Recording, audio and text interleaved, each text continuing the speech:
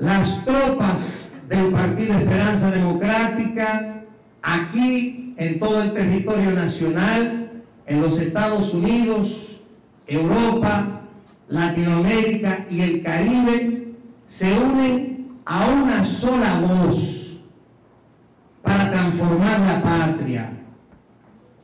Que lo escuche todo el mundo, que aquí tenemos el próximo presidente de la República Dominicana, el doctor Roque Payá.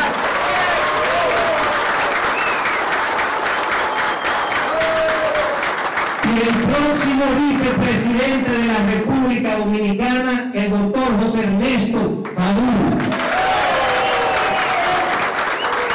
A partir de ahora, quiero que me vean como lo que siempre he sido y lo que siempre pretendo ser un simple ciudadano de este país que grita en una voz que de rodillas son ante Dios, jamás ante los poderosos de este país. Los caminos están bastante definidos.